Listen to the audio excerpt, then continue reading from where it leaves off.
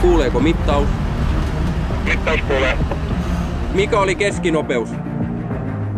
Veron keskinopeus on 186,269 ja on uusi maailmanennätys.